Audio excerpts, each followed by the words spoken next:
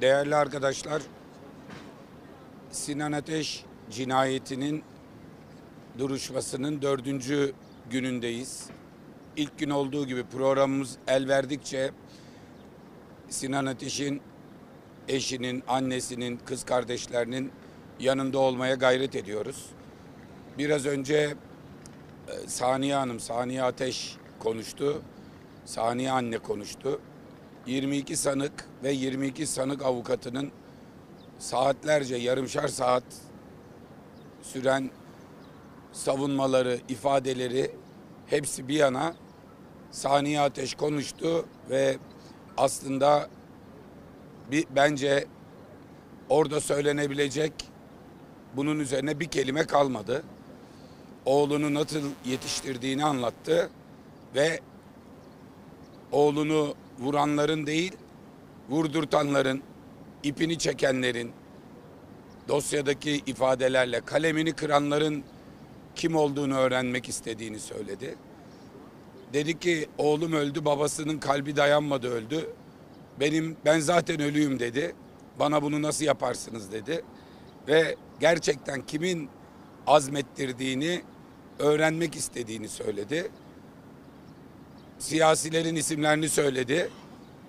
Sinan Ateş'in öldürüleceğini kendisine söylediğini, kendisinin kalemini kırdıklarını söyledi ve sözlerini bitiremeden de baygınlık geçirerek salondan sağlık sebebiyle çıkarılmak zorunda kaldı.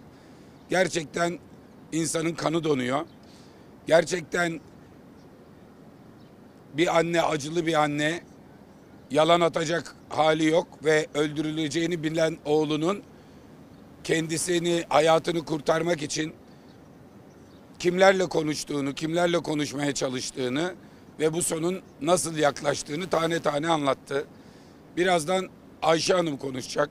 Muhakkak o da çok kritik şeyler söyleyecek. Ve artık bu salonda mızrak çuvala sığmıyor.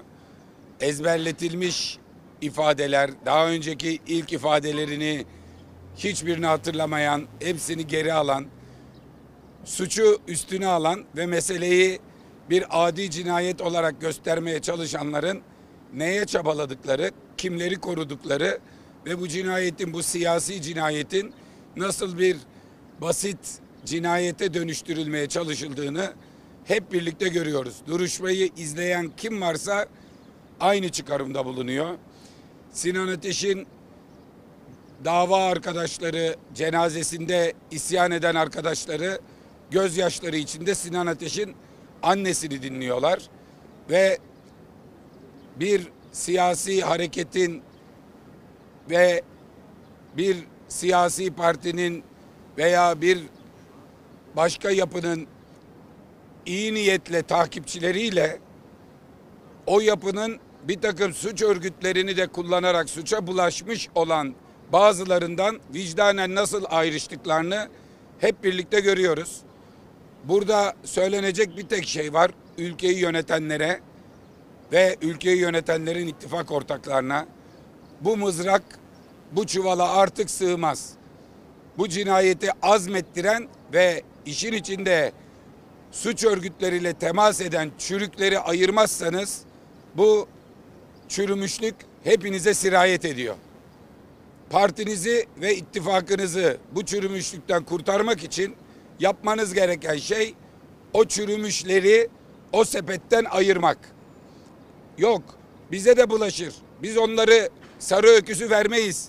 Verirsek başka yerlere gider derseniz vallahi Saniye Ateş'in gözyaşlarında boğulacaksınız.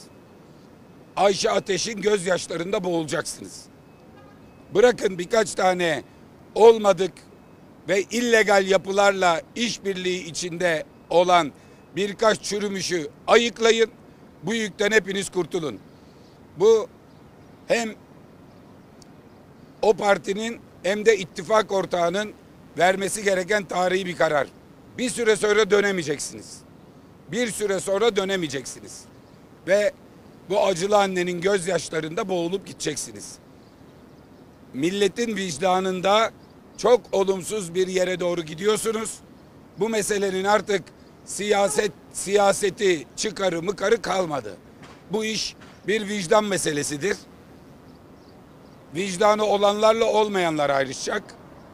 Unutmayın burada siyasi bir hesap yapıyorsanız da vicdanı olanlar vicdansızları her zaman yenerler. Millet de vicdanın yanında konumlanır.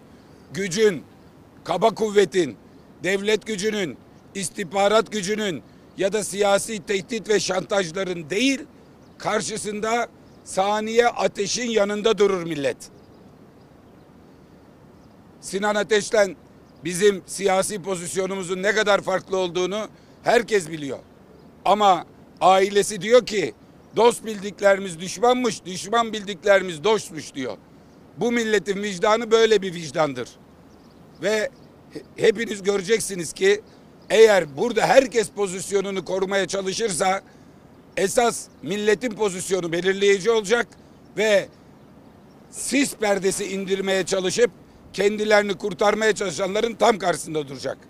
Bu milletin vicdanı bu cinayetin aydınlanmasına kim mani oluyorsa onu tarihe gömecek. Bu kadar net söylüyorum. Başka da hiçbir şey söylemeye gerek yok. Saniye Hanım'ı dinleyin.